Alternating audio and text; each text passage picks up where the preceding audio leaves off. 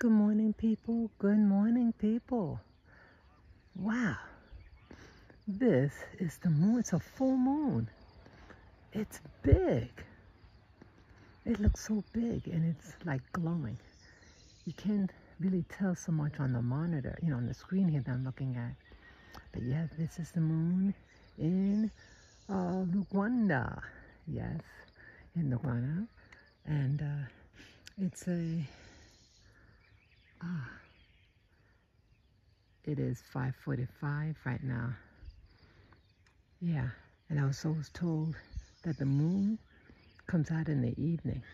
Well, it's morning. So how those people on the other side of the planet, are they able to see the moon? Just food for thought, people. Yeah, today is uh, May, what's that? Uh, it's around, the, I think, May 24th or May 25th. Yeah. I'll write it in the description. Take care, people.